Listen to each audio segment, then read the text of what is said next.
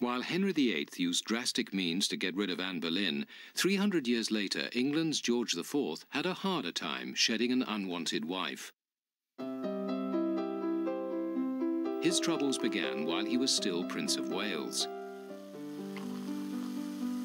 Young George was a charmless prince, a heavy drinker and a gambler, particularly fond of horse racing. He consistently lost huge sums, owing debts equivalent today to tens of millions of dollars.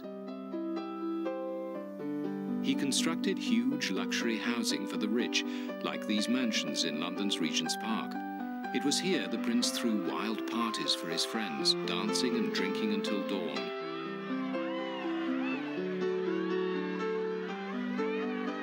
George decorated the exteriors with sensual erotica, some reflecting his preference for older women. The English loathed George for his decadence and indifference to his subjects. His father, the mentally unstable King George III, tolerated his dissolute son until he finally went too far. In 1785, the king discovered his son and heir had secretly married a Mrs. Fitzherbert. Under the Constitution, British monarchs were forbidden to marry Catholics or divorcees, and Mrs. Fitzherbert was both. She could never become Queen of England. The king ordered them to separate. But his son would only comply if his gambling debts were cleared. The nation's treasury was forced to cover the prince's huge losses. His secret marriage was then annulled and an official marriage was arranged for the prince. His bride was Princess Caroline of Brunswick. Her portrait was sent to George and met with his approval, but court painters often depicted their subjects in flattering ways. George was in for a surprise. The day before the wedding, George nervously awaited his bride in eager anticipation. A woman arrived and headed straight for George. She was introduced as his future wife. Prince George was aghast. She was short, fat, smelly, and ruddy-faced. Though no paragon of beauty himself, the prince recoiled, muttering, Ah, I am not well.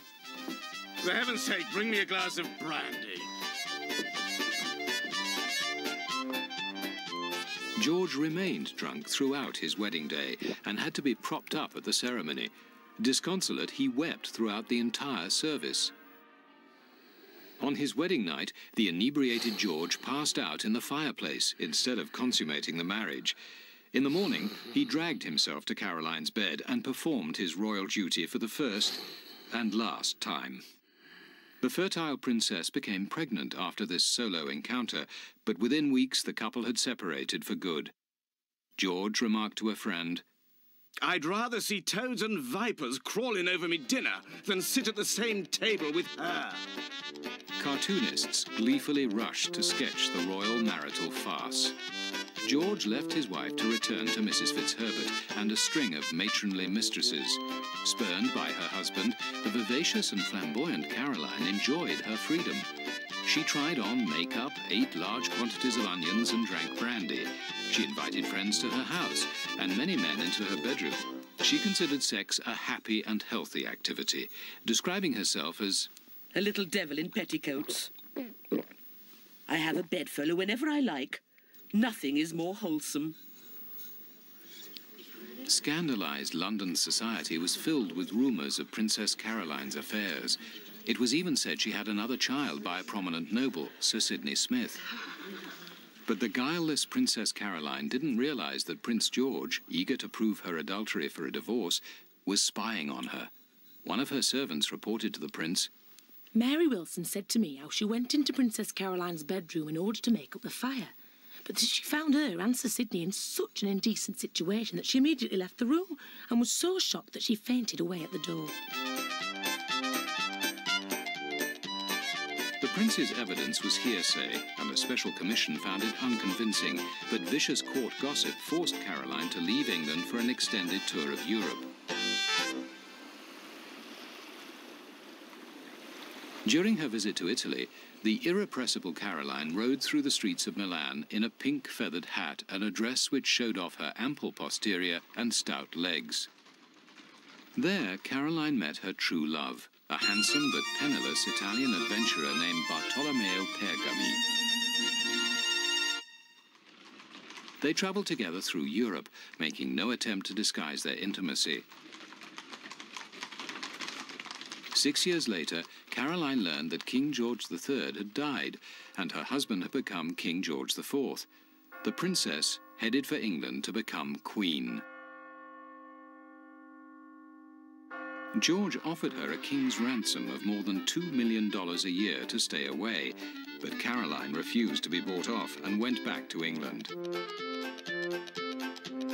Desperate to get a divorce, George launched an official investigation into Caroline's love life. An English naval officer reported that Caroline switched cabins to be next to her lover.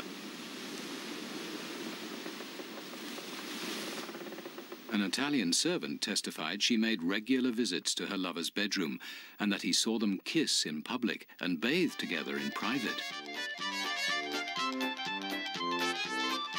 Caroline's cook claimed to have caught the couple on a sofa in the throes of love. But tenacious Caroline fought for her position as queen. She hired a tough defense lawyer who publicly hinted at the hypocritical king's own adulterous affairs and cowed the witnesses.